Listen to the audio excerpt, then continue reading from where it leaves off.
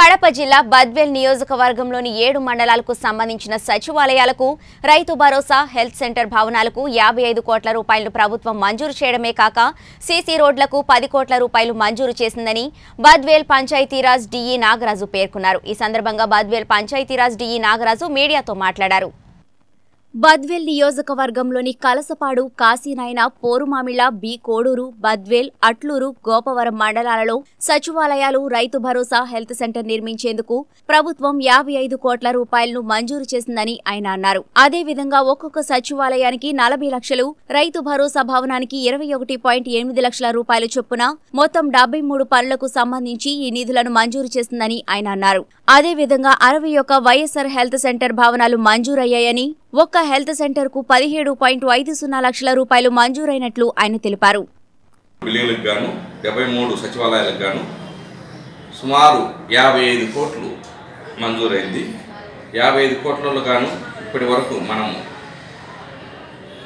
పంతొమ్మిది కోట్ల పంతొమ్మిది కోట్లు ఖర్చు పెట్టడం జరిగింది సంవత్సర కాలంలో. మిగతా అవన్నీ పనులు జరుగుతున్నాయి. ఈ డెబ్బై మూడు సచివాలయాలకు గాను పన్నెండు సచివాలయాలను కంప్లీట్ చేయడం జరిగింది. మిగతా ఎన్ని ప్రోగ్రెస్లో ఉన్నాయి?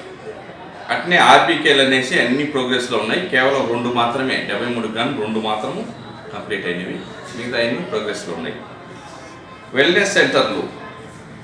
మొత్తం మనకు శాంక్షన్ అయింది అరవై ఒకటి. అరవై ఒకటికి గాను దాదాపు ఆరు కొన్ని స్థలం సమస్యల వల్ల ఆరు మొదలు కాలేదు ఇక్కడ.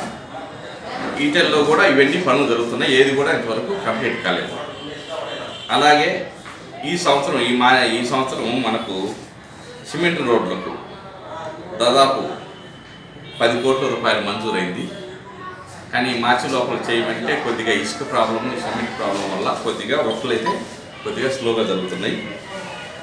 ఇప్పుడైతే అది పది కోట్లకు గాను సుమారు ఈ ఈ మార్చి లోపల మేము ఒక మూడు కోట్లు మాత్రం చేయగలమని అనుకుంటున్నాం. మిగతా వర్కులు వచ్చేసి నెక్స్ట్ సంవత్సరంలో చేస్తాం.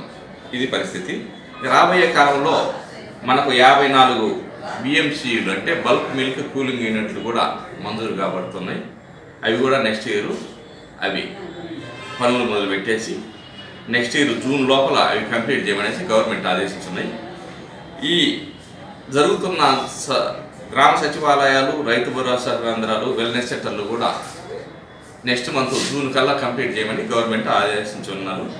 మేము కూడా అందుకు అందుకు తదనుగుణంగా మేము పనిచేసేదానికి సమ సమాయత్తమయ్యి ఉన్నాము. Thank you